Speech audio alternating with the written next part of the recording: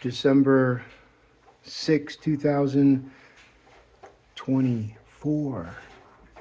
Kerry Tipper, born December 11th, 1983, politician and attorney. Now, January was the beginning of a new indexing process for the year 2024.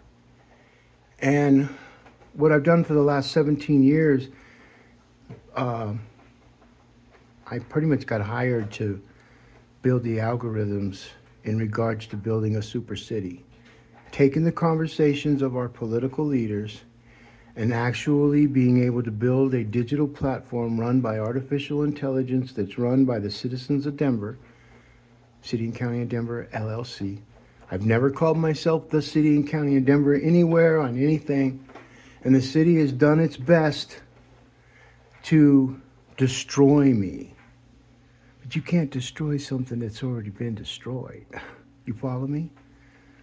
And so, what I did, because I know how they think. I know how they smell. I know how they look. I know how they talk. I know where they go. I know all their 5013Cs. And when I say me, folks, it ain't just me. Come on, man. Come on.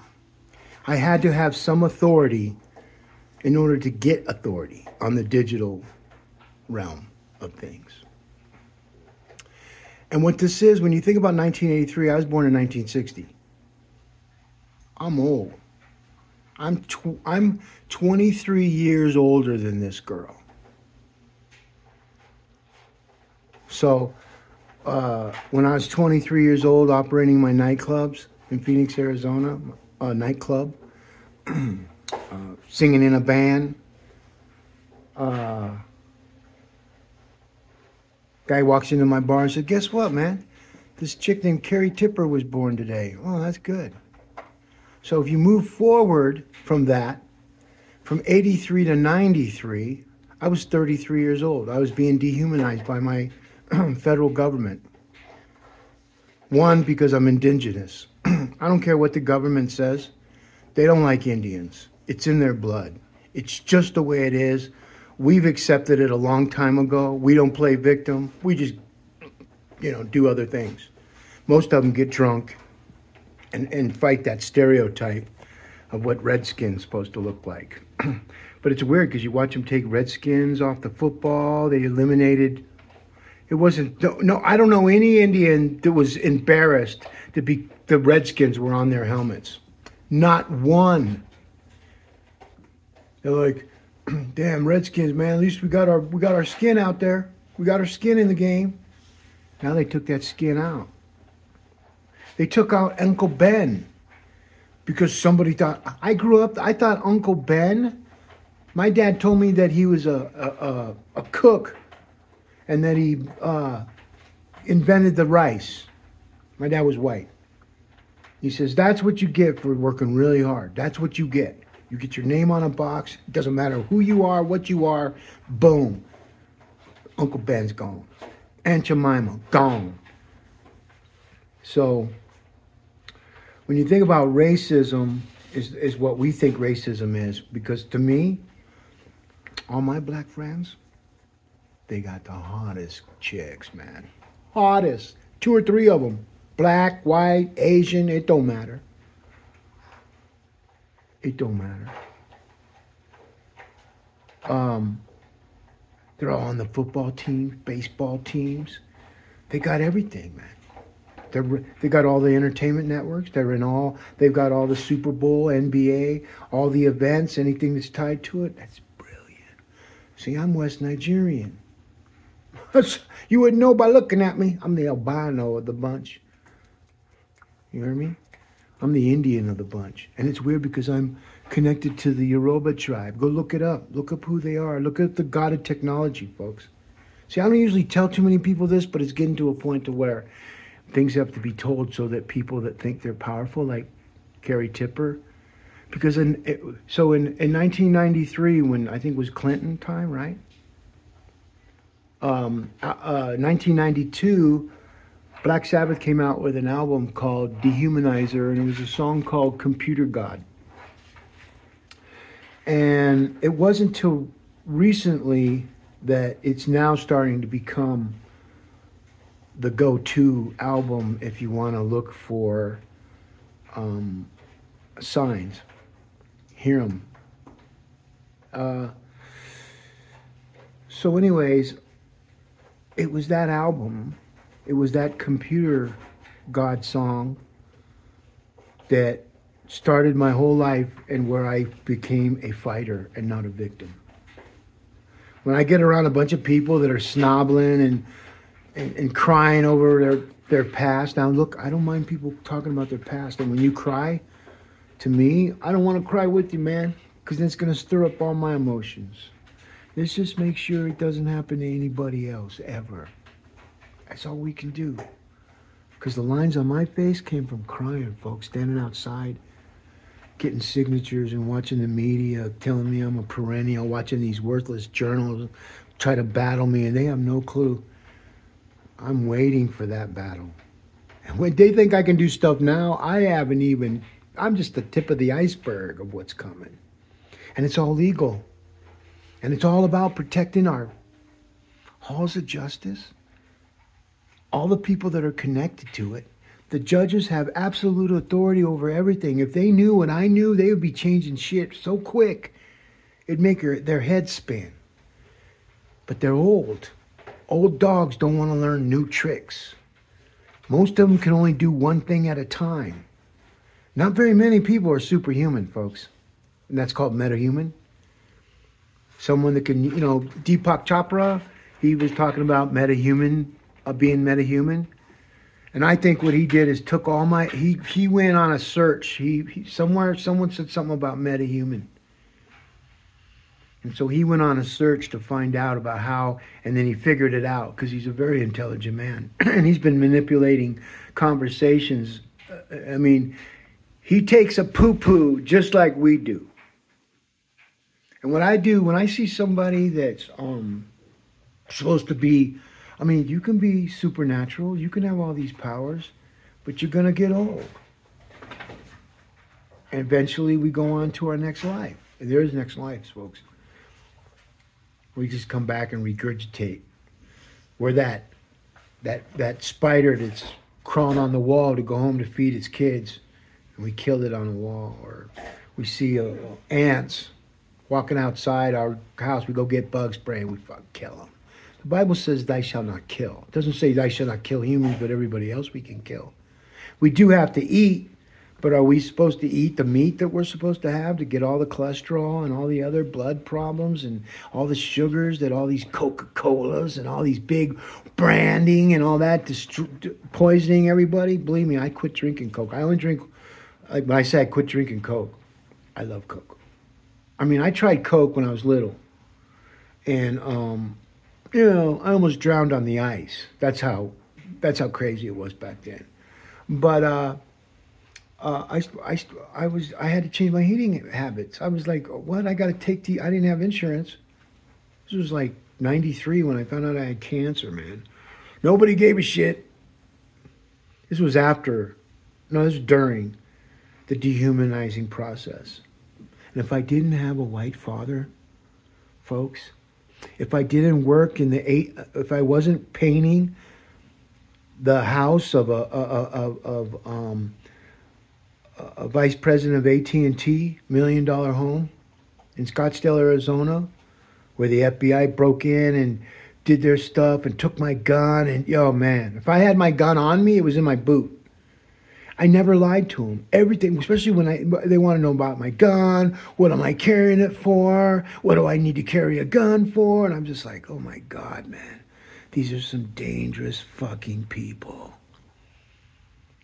This is why you know at first I used to I used to cooperate with everybody, man. Law enforcement, you name it. Yeah, man. I got nothing to hide. Shh. Folks, we need to teach our kids that the police are not our friends.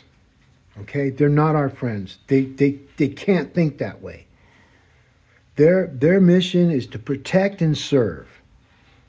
Okay? But what happens is because we don't elect our, our police chief and our sheriff department, see what, what we would have had done, figured out within the first hundred days of my campaign, of my uh, first hundred days of mayor, if I was going to get elected. But I wasn't going to get elected because I already knew I wasn't going to get elected based off internet chatter that uh, Colorado um, Newsline and other identifiers um, started writing about that I wasn't getting on, um, or they were talking about it, but it showed up in.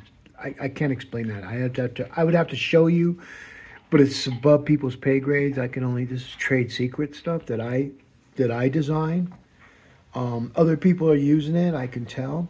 And but what happens is like with the city and county of Denver right now, they're building all these pages so that if you Google city, you Google court, you Google refrigerator, restaurant, news, everything comes up city and county of Denver.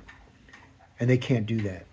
Even Mayor Webb knows they can't do that. But see, Mayor Webb got his ass handed to him because they remember when they put the put the statue in. I mean, it was all leading up to the to the first woman mayor, and you got the same bobblehead whack-a-mo's.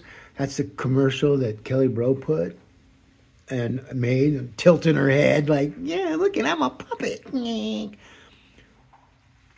But uh, see, what we did is we educated the people that were going to vote for the first woman to not vote, because there's not one woman, in my opinion, that ran for mayor that, that and the reason why I say that this is that not any of the candidates. I tried reaching out to candidates because that's what I'm supposed to do. Hey man, we're a team. Let's work together, man.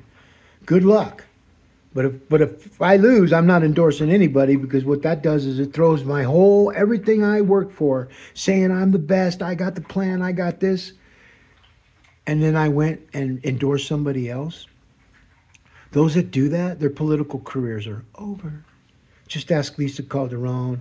Leslie Herod, she's probably not going to get reelected because everything that she does is why we have our streaks like this. Everything that Mike Johnston talks about being a representative and all this shit, you look outside, it's because of him.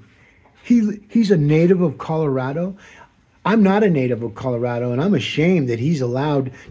You see what I mean? They take these attributes that are now negative attributes Oh, you're a native of Colorado and you still ignore the law. You're an attorney and you're still ignoring the Spear Amendment. How deep, I mean, what do these people need? They need an act of God now. See, I had this old retired judge, Democrat. I can't tell you who it is. I'll never tell anybody who it is.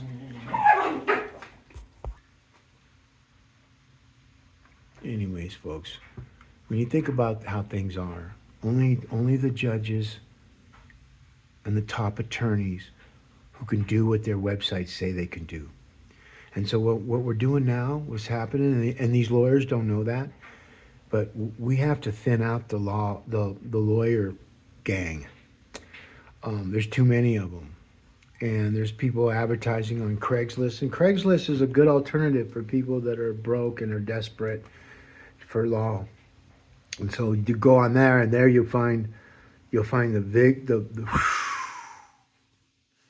you'll find uh, that's why they can't advertise in the big. They, these are the these are the the lawyers that um, are working for like ten dollars an hour, and and just to get just to get work, and they represent the cheapest people and they get the cheapest thing outcome, and they always end up losing.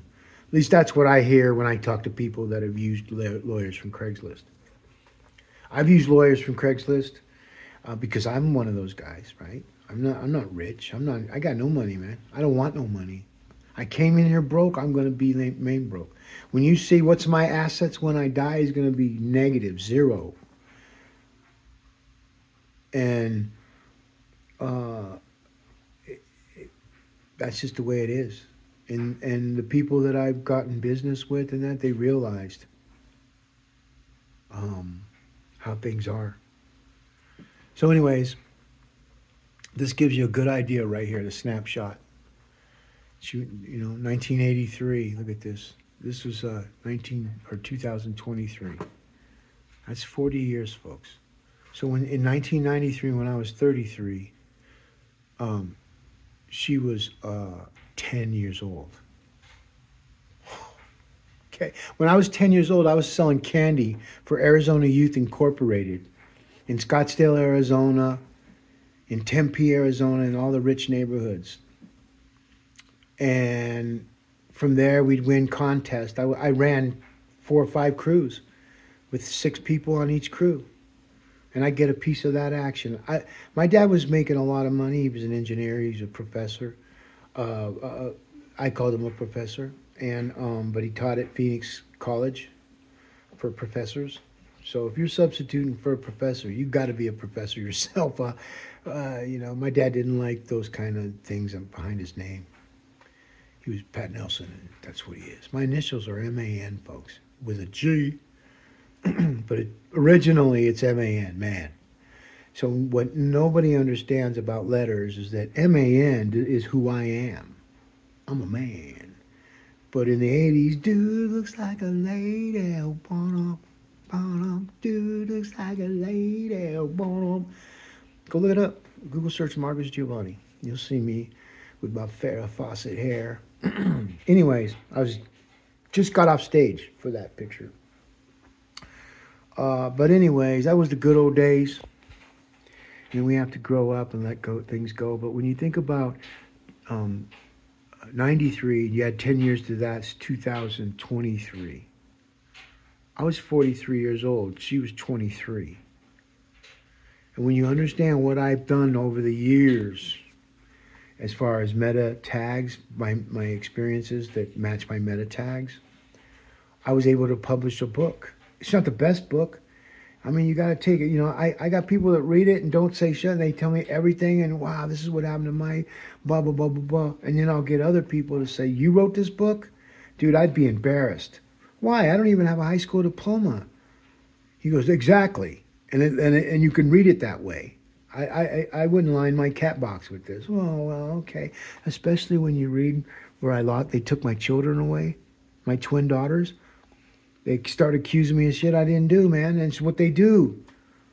And, and I'm all bowing white people and I look like a freaking farm worker. Bitch.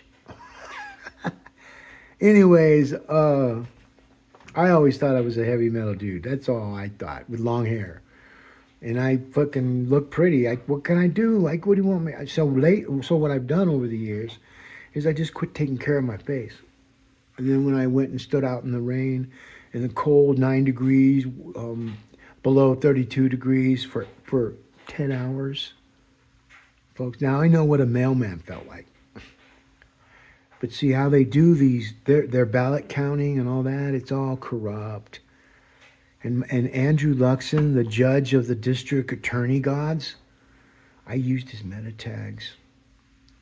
And I put code within all those court documents, and I knew they weren't because I did. They didn't send me the first denial, so I filed another one, and we were heard on January 6th, the infamous sex day.